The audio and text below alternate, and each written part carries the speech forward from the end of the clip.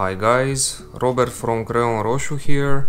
So continuing our build in this episode we will start adding some trims to the interior of the body. This is to cover some panels on the inside and also improve the aesthetics of the model. So the first magazine of this episode is 102 so we are slowly but surely approaching the end of this build. Here are the components that came with this magazine.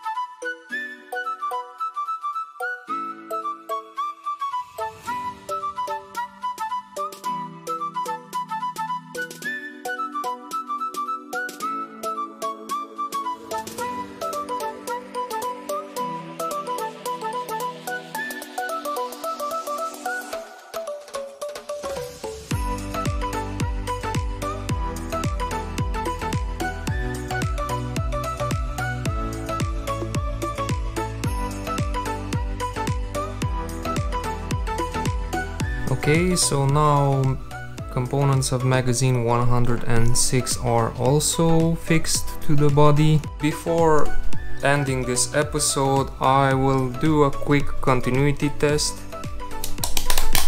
using my multimeter just to make sure that all the switches are working.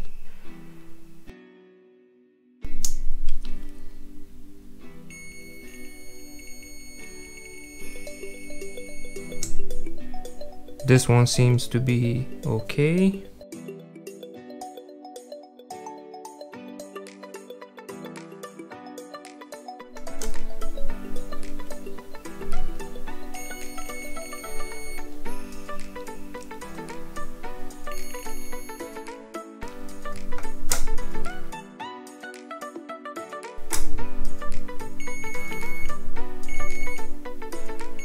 Seems to be working. And finally the rear left door.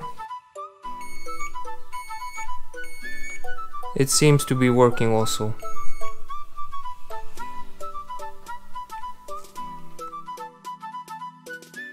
Thanks for watching guys, this completes this episode. Till next time, don't forget to share your thoughts down in the comments. And stay safe.